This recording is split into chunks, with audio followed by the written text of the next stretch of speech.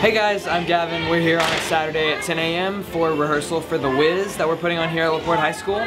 Our productions consist of approximately 200 students and probably about 50 adult volunteers who put in about 150 hours um, to put this show together. So, yeah. When you're out in the audience and you look on the stage and everything goes real smooth and everything like that, and you don't understand what really has to happen until you're backstage. And, and I tell people, it's not the adults moving the stuff. It's not the adults making the, the, the curtains go up and down or the drops go up and down. That's all done by kids. All I do is point. That's right. Do this there. And, and then even I don't do a lot of that. I help because there's a, a, a kid, I hate to say that, but there's a student that's the stage manager. I'm just there to help.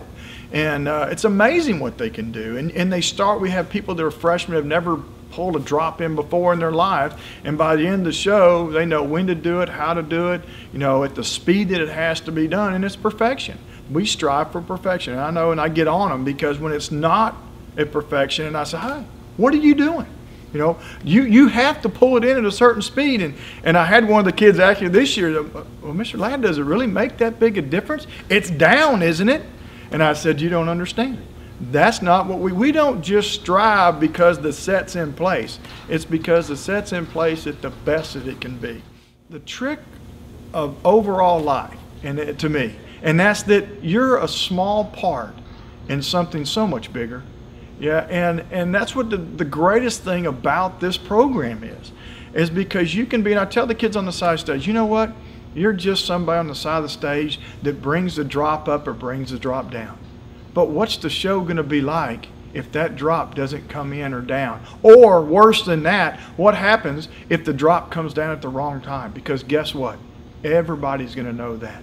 Just as much of an actor forgets a line, just as much if somebody in the orchestra pit doesn't play the part they're supposed to play, we're all a small part. It makes the program what it is. It set our expectation and said we're going to work this hard to get to a great product. But it's not about it's not about those two weekends of shows. It's about that time from uh, dancer auditions to dress rehearsal or tech rehearsal, and all of those pieces that go in into that in between is about the process of growing people like you and me, mm-hmm. and and we just get to have fun uh, doing the performances, and it's sort of a bonus that we had to do for me. But we didn't learn great lessons in the performance.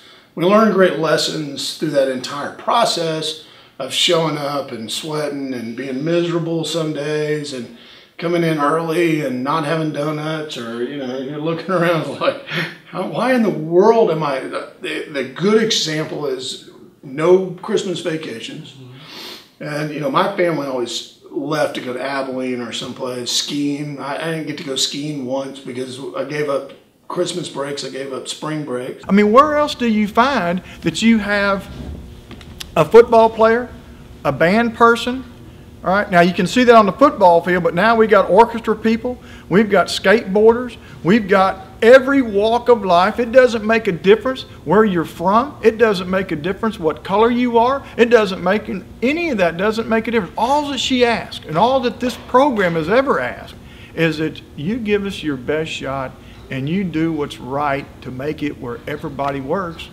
And that's what you have. You experience athletes, you experience um, academic people, you experience the nerdy people, the people who, you know, you wouldn't ever talk to in the hallway. There's hundred, like at least a hundred people that I talk to and wave at now. And I know that existed even though the numbers weren't as large. I know that that was the case in your sense. And we're just a family here and it's really cool because everyone comes together and we have so much fun together as a group that it really doesn't matter who you are or what your family situation is, that you come together as a group.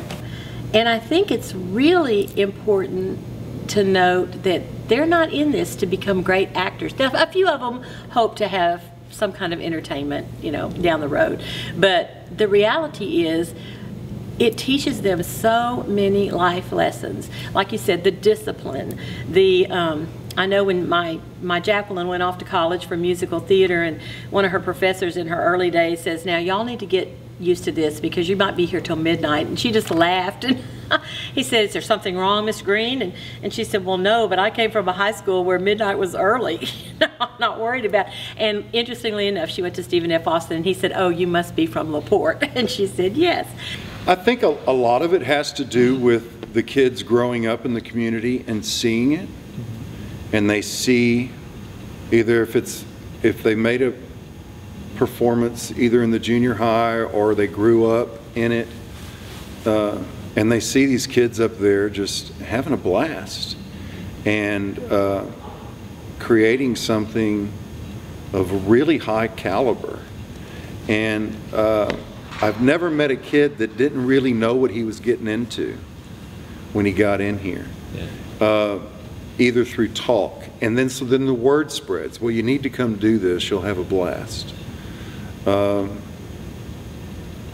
I think, I think kids want to be pushed, and uh, and we push them, and we demand, we expect them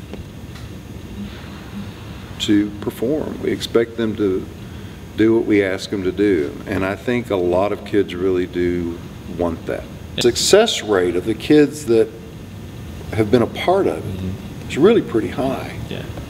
you know, and not in theater. Yeah. You know, that's never been a focus. Mm-hmm. It's never been a focus to turn out great actors and actresses, you know. going for professional actors here. You know, a lot of people, I remember Kelly was so cute, he came, Nelson. He said, you know, Ms. Angel, the one thing I really wish that you had taught me when I was in high school that would have helped me so much in college is, that we had done more Shakespeare. And I said, well, Kelly, let me tell you something. I wasn't doing this program for you. And out of all the kids I taught, the whole time you were in high school, maybe two or three of you went in theater. I taught this program to teach.